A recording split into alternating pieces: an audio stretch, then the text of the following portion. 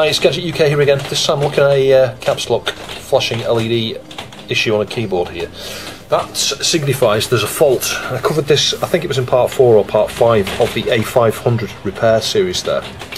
So this keyboard's been intermittently behaving this way, and the interesting thing is if you tap it, occasionally, look, hang on, occasionally it will, it will be okay, so it's like a bad connection. See that? It, it did stop flashing. It's really weird this one. You saw it flash, stop flashing then when I did that. Look, and it stopped. It's really, really weird. My initial thought when it started flashing was that it was going to be this MCU here. So I've ordered one of these, I've got one of these spare. I'm not sure there's any bad solder points on this, it's just really weird how just a, a slight tap and it stops flashing. The crystal on here was a bit loose. Now, I'm not sure if the crystal's the issue. Feels like it's been mangled a bit. I don't think it is the crystal, to be fair. What I did do, off camera, solder the underneath and then solder the top side of here on those two crystal contacts, but that doesn't seem to be the issue. But what is strange and what would kind of indicate that maybe it isn't the keyboard MCU is the fact you can see flash, flash, flash, and if I tap the keyboard, just watch. Look, stop, hang on. Stop flashing for a second, it's not as regular.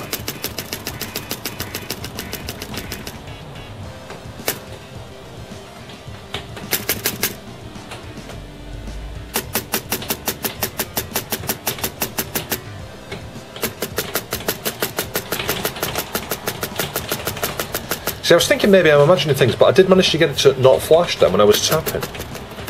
So I'm not sure, not sure to make of this. I'll start by examining the uh, PCB, see if there's any clues on the PCB itself. Then I might just swap the keyboard MCU out, I think. And of course, when this happens, the keyboard is non-responsive.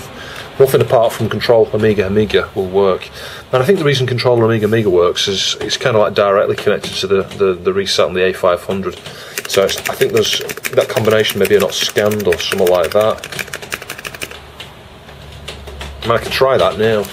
So we've got TimeGal running there. I'll do Control Amiga Amiga, and you can see that works. And once the Amiga resets, it resets the keyboard as well. You know that stopped flashing now.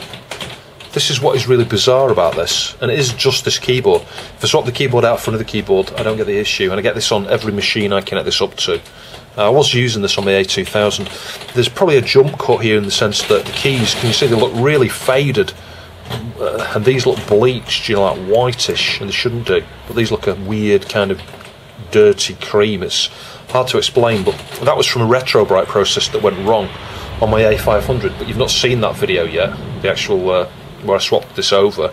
Um, I bought a spare keyboard, this is the one that I bought just for testing purposes of various machines, and I've ended up swapping the, uh, the, the keyboards over effectively, but using the same controller board here. So it was sold as faulty, behaving this way.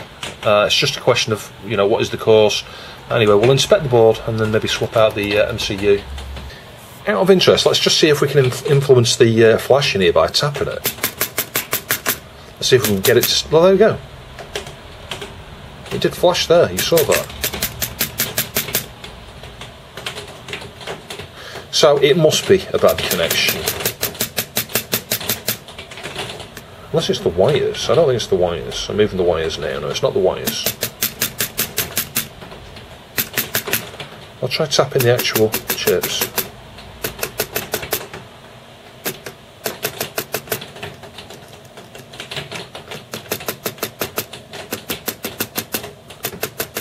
Very strange.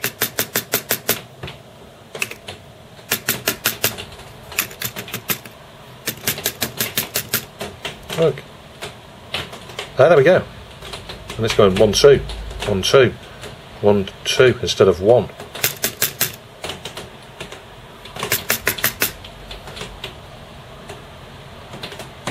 It's interesting now, once it starts to error, it doesn't come out the error loop though, so there could be multiple issues going on here so the replacement uh, keyboard controller there. Um, but I mean, everything from the top side looks okay here. Then, as I say, that crystal was a bit wobbly. maybe the crystal resonator is the issue. I don't know. You can see, can you see? I added two beads of solder there because I wasn't sure if it had uh, fatigued on the top part, but the crystal was a little bit loose, and I soldered it on the bottom side as well. So maybe it is just this uh, oscillator here, you know, this resonator. Anyway, let's uh, let's just unscrew this plastic uh, protective thing here. So I think there are three or four screws hold this in place here. And I'm going to put the screws back in actually, just so that the membrane doesn't get pulled. You know, the ribbon from the membrane connects to this. I just want it to be held in place, but be able to remove that. Uh, that one will do it. Just remove this uh, piece of plastic here. You can see it's the same thing over here. A couple of screws here. Well, one over the plastic. There we go. So now the plastic will kind of like twist out of the way. That's what I want. Let's get that screw back into there.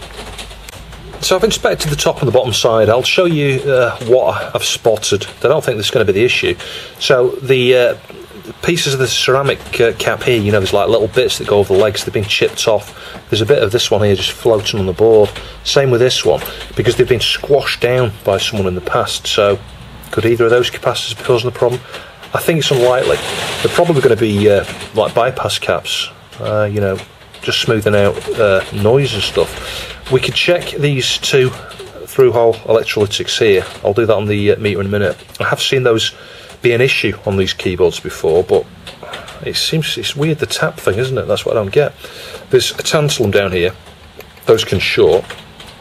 Um, I'll measure that to make sure it's not short. I don't think that's the issue. Um, there's nothing else really on the top side. It's a bit dirty. I'll clean it with cotton buds in a second. And again, on the underside here, I've inspected pretty thoroughly. I see no issues with bad solder points anywhere on that.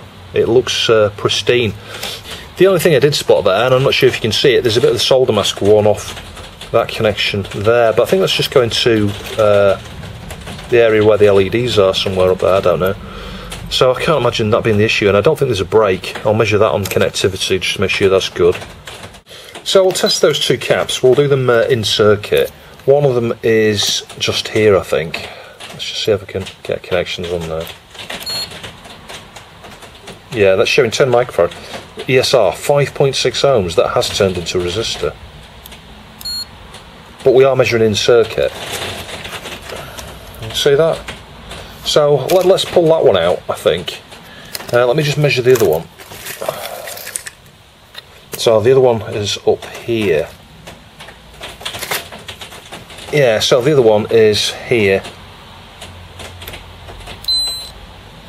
Yeah, it's coming out in circuit leaky.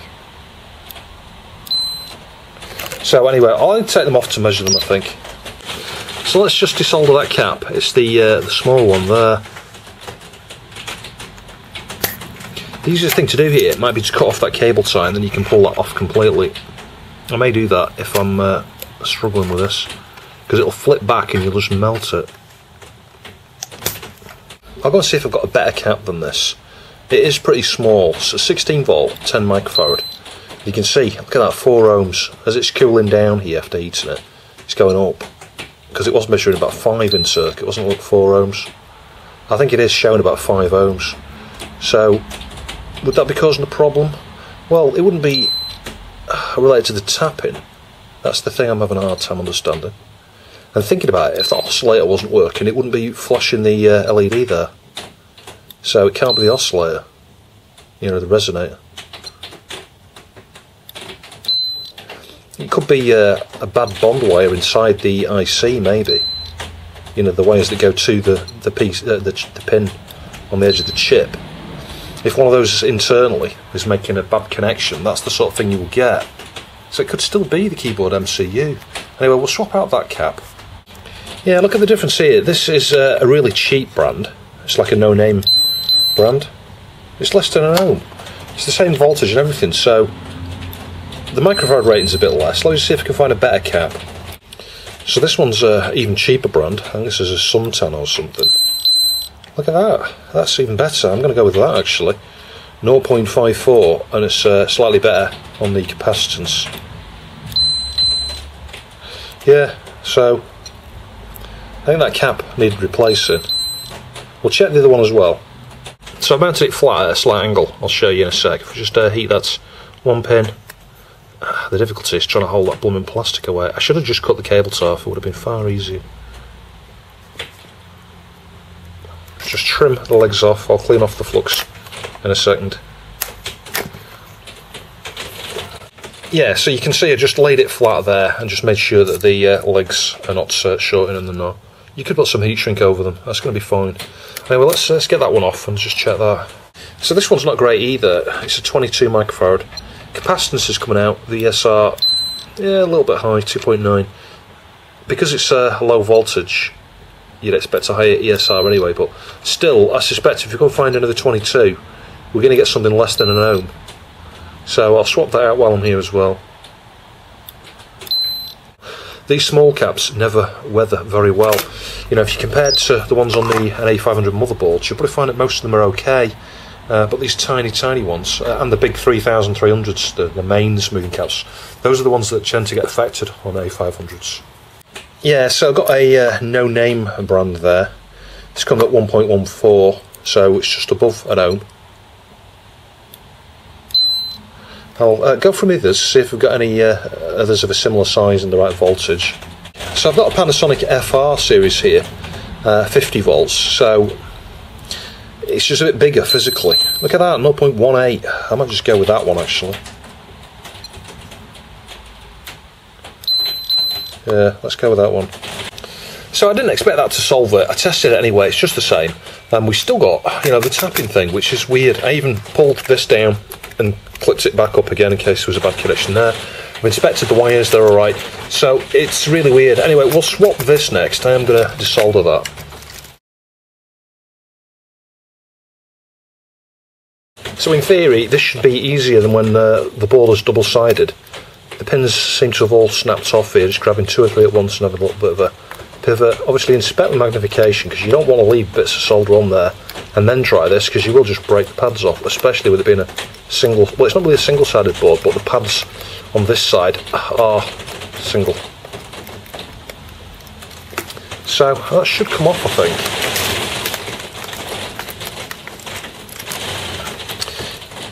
It's just a question of how loose it is. And I think the answer is very, actually. It's, it's ready to come off that. I'm going to try and get some leverage on this side without squishing that cap. Yeah, it's coming through. The issue here is some of the pins have been bent a little bit, so it can make it a little bit fiddly to uh, to get it off. There we go, so that's it. No damage. So let's get the new chip on there. I'm not going to put a socket, it's probably not enough space uh, physically. Got to hope this chip actually works because it's untested at the moment. I soldered the uh, diagonal corners there and uh, just make sure it's straight.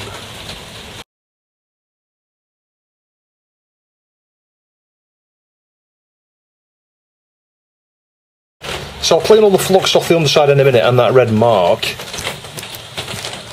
But the good thing is, the keyboard is working. Obviously I need to test to make sure all the keys work. And it's not sensitive to the tapping like it was. There was definitely not a bad solder point on that chip. So that I find particularly interesting, actually, that tapping it influenced the behaviour. I'm going to keep that other chip anyway, I'll just mark it up as intermittent.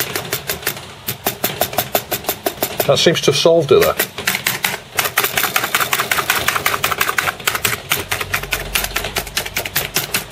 Well, that's not what I expected. Started off thinking it was going to be a bad solder point.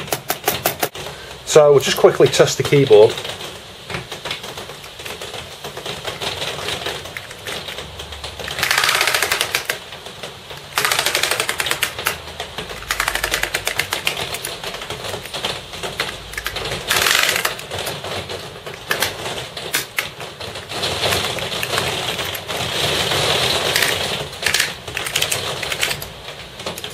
Yeah, all working, fantastic. So it's been on for quite a while, just giving it a final whack in here. Normally, it errors within the first few minutes, you know, certainly if you start using it. What was finding is you'd start typing, a few characters work, and then it start flashing. And if you typed really, really carefully, it was alright. So, I mean, that could point you towards thinking there is a bad, or there was a bad solder point on the um, MCU there. I'm pretty sure there wasn't uh, thoroughly, thoroughly, thoroughly inspected the solder points there. They look good as new. So yeah, I mean, i have kept the old MCU, stuck a label on top of the old one just to say it's intermittent. Uh, it's useful for testing, but this is now rock solid, so that was the issue. So just clean them with a cotton bud and uh, some IPA here. The solder points are pretty good on there actually. I'm always wipe that red label off there. Yeah, you can see it's come off. And we'll have a clean of the top side with a cotton bud as well. And we'll clean the LEDs.